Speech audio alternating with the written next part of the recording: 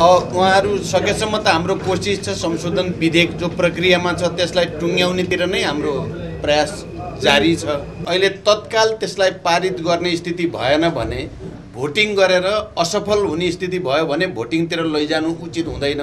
बरु समझदारी बनाएर त्यसलाई पारित गर्नेतिर नै सरकारको जोड छ। तर स्थानीय तहको निम्ति त्यो पारित हुनै पर्छ भन्ने जरुरी पनि होइन। यो स्थानीय तहको सङ्ख्या थपेर र अन्य कुनै तरिका अप्नाएर भए पनि मधेसी मोर्चालाई पनि सहभागी गराउने सरकारको प्रयास छ र मलाई के विश्वास छ भने अन्तत उहाँहरू पनि आउनुहुन्छ। मैले मोर्चाको नेता साथीहरूसँग पनि कुरा गरिराखेको छु।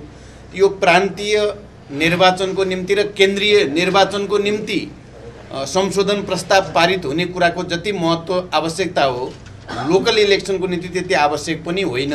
र त्यसको निम्ति उहाँहरूको कन्सर्न जुन छ त्यसलाई जनसङ्ख्याको अनुपातमा हाम्रो स्थानीय तहको सङ्ख्या मिलेन भनेर जो उहाँहरूले भनिराख्नु भएको छ त्यसलाई प्रतिपक्ष समेतको सहमतिले पनि सम्बोधन गर्न सकिन्छ।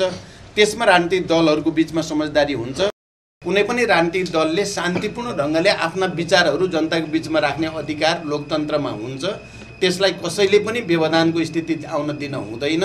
मधेसी मोर्चाले पनि आफ्ना कुराहरू राख्ने शान्तिपूर्ण ढङ्गले त्यो अधिकार छ। प्रतिपक्षलाई पनि आफ्नो कार्यक्रम गर्ने अधिकार छ। एकअर्काको त्यो अधिकारलाई सबैले सम्मान गर्नुपर्छ र कुनै पनि किसिमको चाहिँ राजनैतिक द्वन्द्वको स्थिति आउन दिन हुँदैन। त्यसबाट कुनै अप्रिय स्थिति आउन दिन हुँदैन। सरकार त्यसमा गम्भीर छ र आफ्नो अरू तयारीको साथसाथै सबैसँग आवश्यक संवादमा पनि छ।